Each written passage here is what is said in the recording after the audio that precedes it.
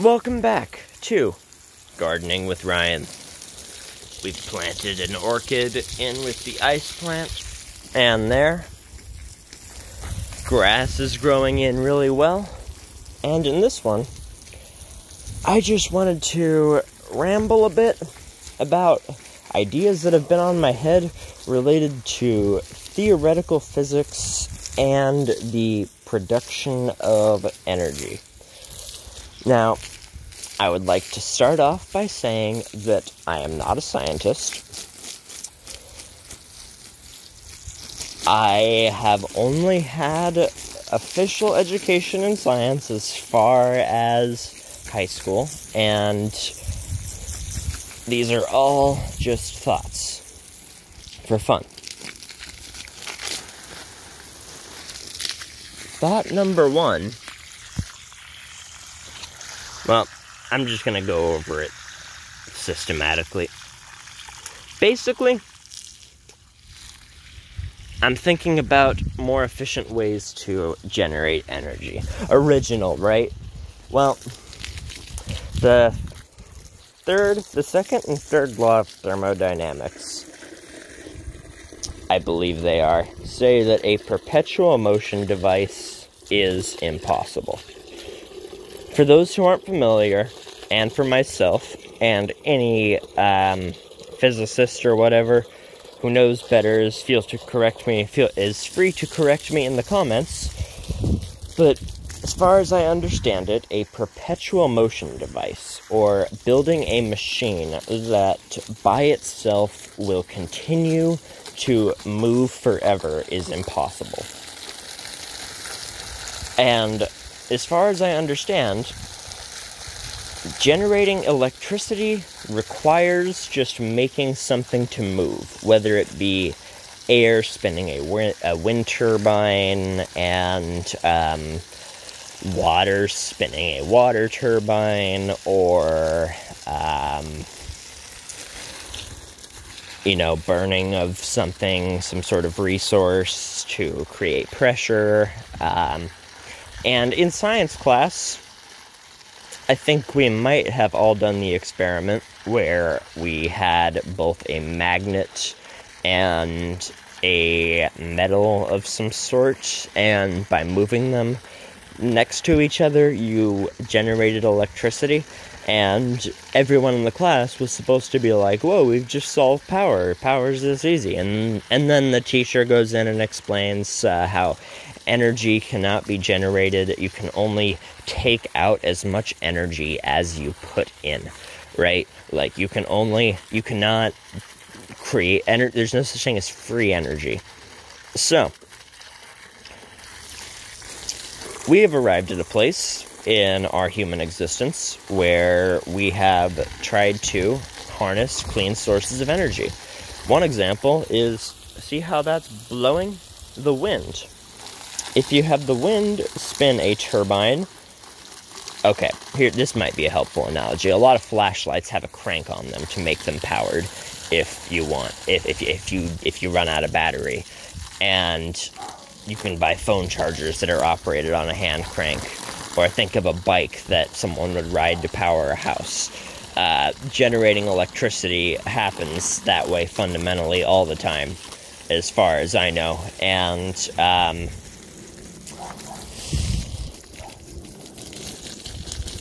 if you could theoretically build something that would spin forever on its own, you would have unlimited energy.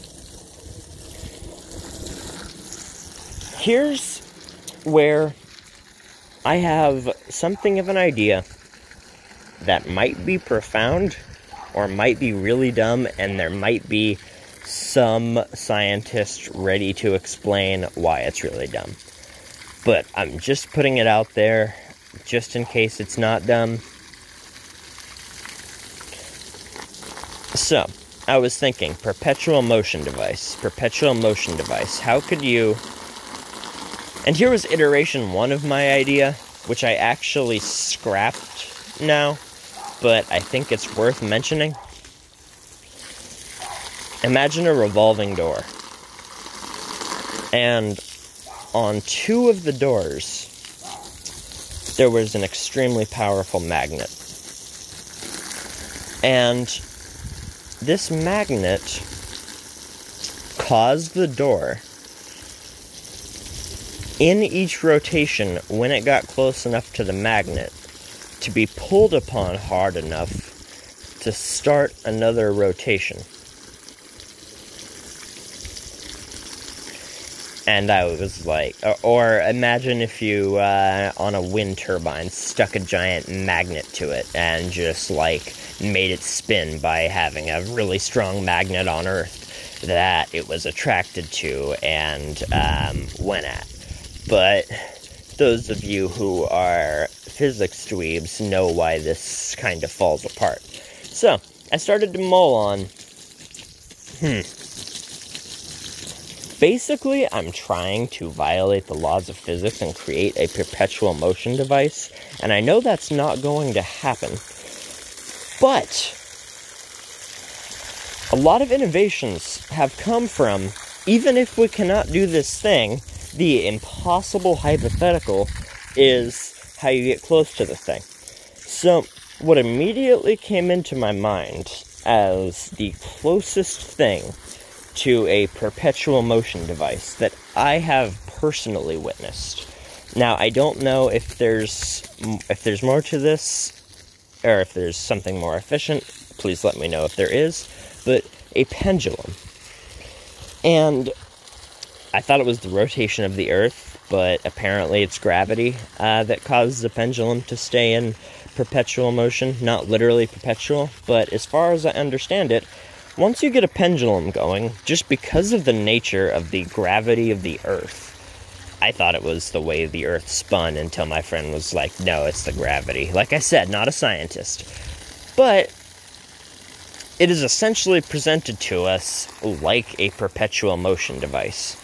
That the actual potential energy that becomes kinetic energy in the continued swinging of the pendulum is actually the an, an energy being exerted by an intrinsic property of the earth rather than something that we are putting into it. I know we have to give it that initial swing, and I know pendulums do eventually stop, but I wanted to look into why does a pendulum stop? What causes it to stop. And the reasons I could find were the fact of air friction, friction at the pivot, and the fact that all of the molecules are going to be acting on themselves. So,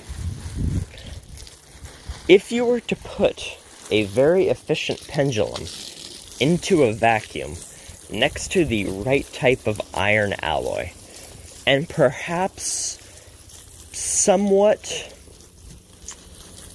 regular resets would be required.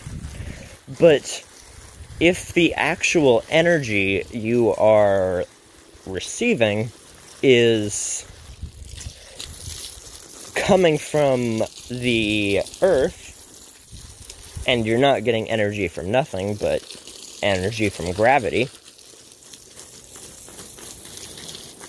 could you not, in a sense, would it not prove true that you could get more energy out of a pendulum, generating electricity while swinging, than was put into it to make it swing by the human because though the pendulum will never have more energy that you can take from it that is not being put into it, the energy is being put into it, so to speak, by the earth. So, maybe the way a pendulum swings in a vacuum is the most efficient way to generate electricity without depending on things that change more, like the weather. Am I a scientist? No. Do I did I take a physics class even? No. These are just ramblings. However,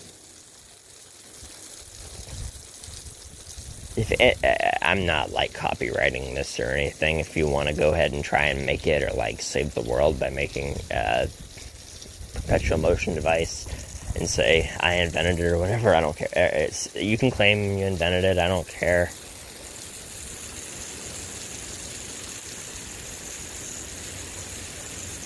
But uh, even if, or put think about like if you were just trying to power a house and you just wanted an at-home generator. Like, what if you just had a pendulum that you manually reset and had to keep manually resetting? It still might be a lot more efficient for generating home electricity than turning a hand crank or riding a bike or something. I don't know.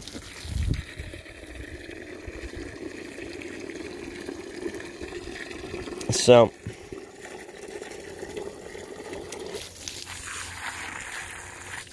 basically, what I'm trying to brainstorm is just like, what is the. Uh, if this isn't the answer, what's the closest thing to a perpetual, like, Rube Goldberg machine that we can build? Right? Like most people, if they want to generate electricity at home through motion, use bikes or whatever, solar panels.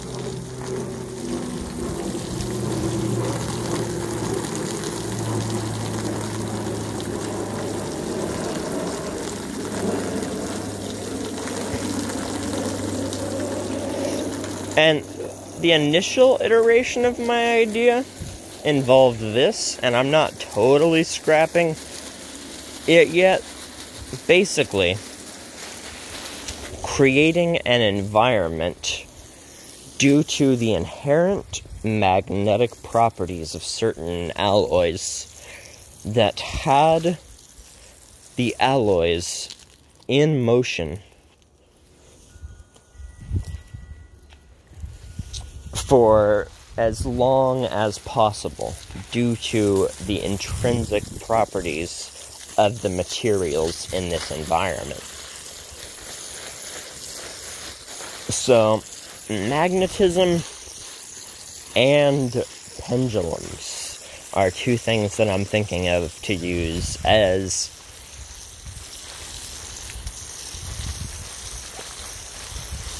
acting force principles on an object or let's say you like my revolving door example if you had a super powerful magnet on it and just hit it and caused it uh, with hit it with a super powerful magnet and just sent it flying but you used a rather than an electromagnet, a magnet that is intrinsically strong enough to do that.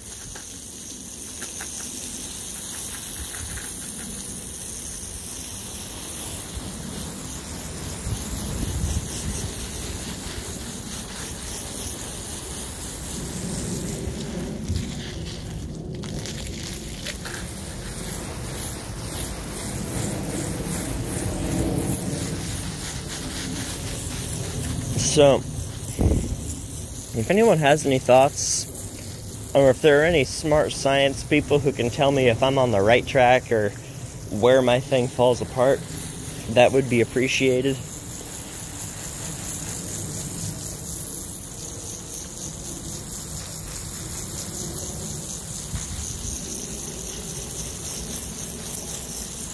Let's just finish watering this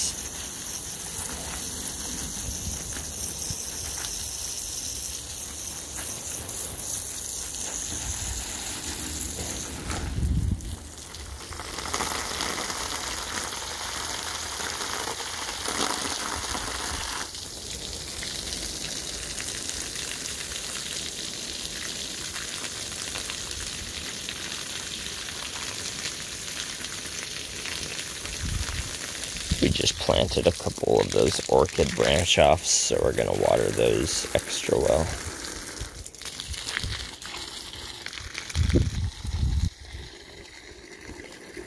But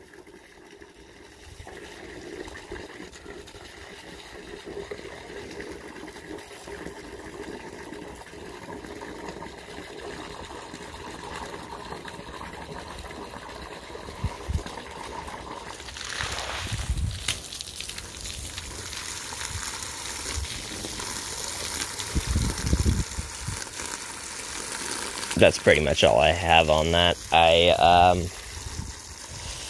feel free to tune out now, or if you like watching the gardening, feel free to stay.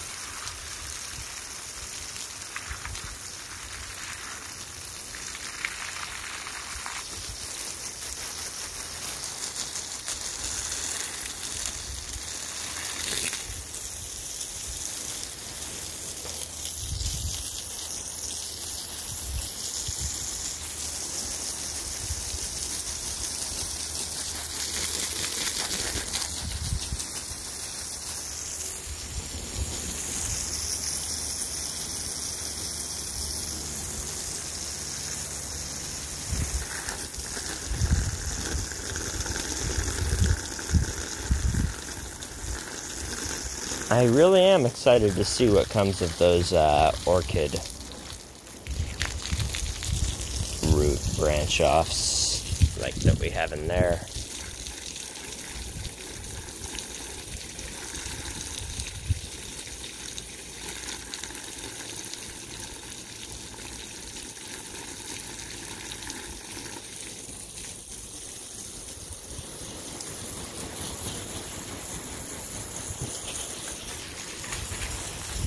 Look how much our ice plant has grown since the first episode that we planted that.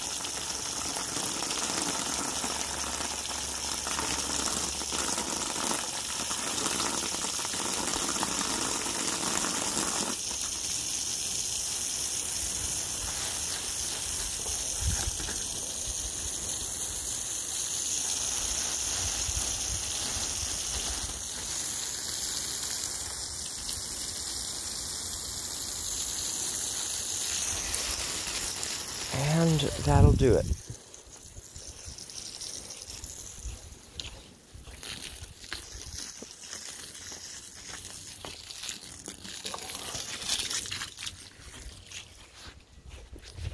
Thank you all for watching. I'll see you in whatever I make next.